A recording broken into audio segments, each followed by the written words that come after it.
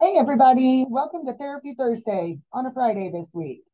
So, I thought that we would first touch on prevention. Um, after everything that happened in Nashville, I just wanted to mention a couple of things through all of the um, news reports that I've read and all of the videos that I've seen and the all, all of the footage and everything.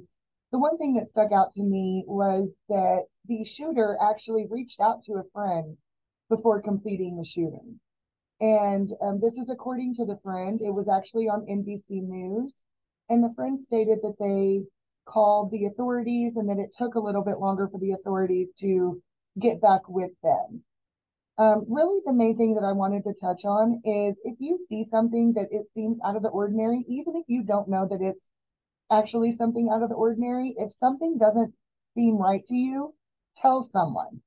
Um, all we can do is if we see something, we have to say something. That's going to be the first line in prevention. All of the signs were there. And there were a lot of ways that we may have been able to stop this had this been recognized a little bit earlier.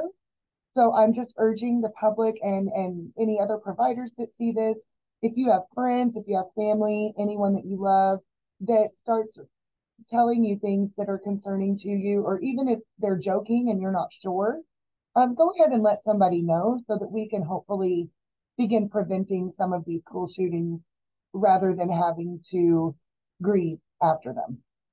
So, on a brighter note, I thought we would talk a little bit about how breathing can affect your cognitive health.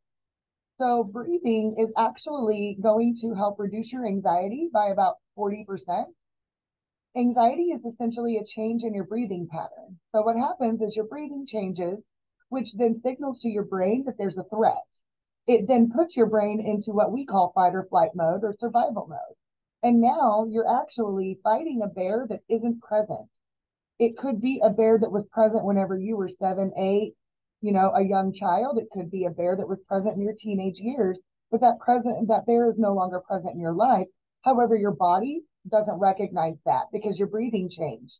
And that told your body that now you're in danger. So your body is putting you into protect mode. And if you get your breathing under control, then not only does it help clear brain fog, but it also reduces anxiety, allows better concentration, and just allows you to feel better in the long run overall.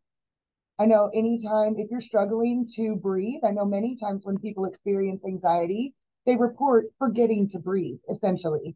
Even though that is something we naturally do, you aren't consciously taking those breaths, which is causing even your anxiety to go even higher. So one thing that can help is if you will look for whatever you can smell. It's part of a grounding procedure, but essentially you're going to and then try to identify the smell. And every time you sniff to uh, identify the smell, you're actually reducing your anxiety and clearing your cognitive health. So these are just a few ways that can help with your brain health whenever you are experiencing any anxiety or depression or even panic symptoms, just getting that breathing under control is going to be the first step.